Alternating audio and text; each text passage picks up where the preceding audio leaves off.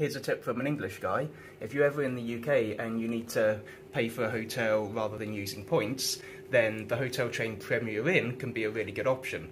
It's a little bit like Holiday Inn Express, but it doesn't show up on OTAs like Hotels.com, so you have to book directly with them.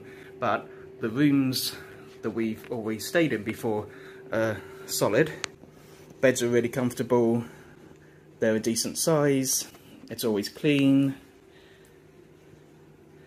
and one of the best things for families is that they'll often have family rooms where you can book a room for four people, so that, way you only need to pay for one hotel room rather than two, seeing as a lot of hotel chains in the UK and Europe will only allow you to have two people per room. So it's a fantastic option because they're so economically priced. Here's some of the food options. So you can get unlimited cooked breakfast for £10.50 or unlimited continental breakfast for 8 pounds 50 and one of the best parts for people travelling with families is that kids eat free, and so that can save you a fair bit of money.